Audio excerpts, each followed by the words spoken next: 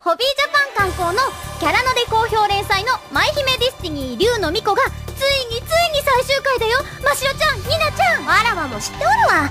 まったくもって残念じゃ。わらわたちの活躍をもう読むことができんとはな。私は改めて単行本の一巻から読んでいますがこのシオンちゃんの行動になぜかデジャブを感じずにはいられません。ん？デジャブって何？やはりマヨに似ていますねそうじゃな。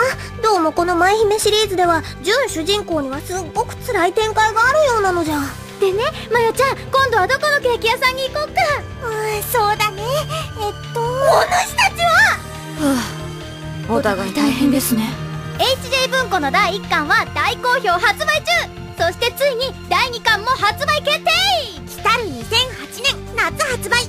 イラストは書き下ろし私としおんちゃんそして夫も同じのありかちゃん久我先輩たちが大活躍の小説第2巻。ぜひとも読んでくださいね。私たちと小説でも会おうね